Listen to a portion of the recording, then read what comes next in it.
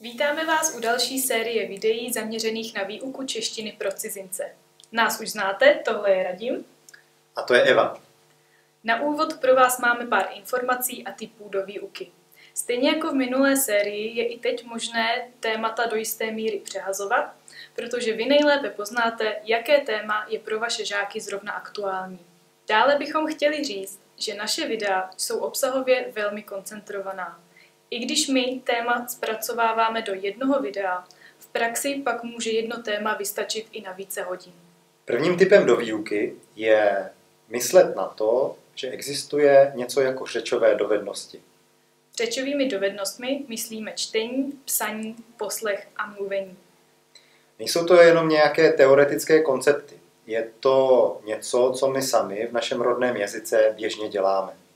I v češtině běžně píšeme, čteme, posloucháme a mluvíme. A proto i ve výuce musíme všechny čtyři dovednosti rozvíjet. Pokud na všechny čtyři dovednosti myslíme během příprav, pomůže nám to výuku více vyvážit.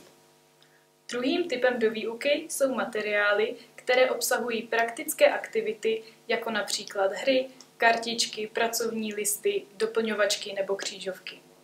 Z online materiálu je to například už dříve zmiňovaná publikace Česky s vlaštovkou od Asociace učitelů češtiny jako cizího jazyka, Česky raz 2 rozšiřující aktivity k výuce od Centra pro integraci cizinců Praha.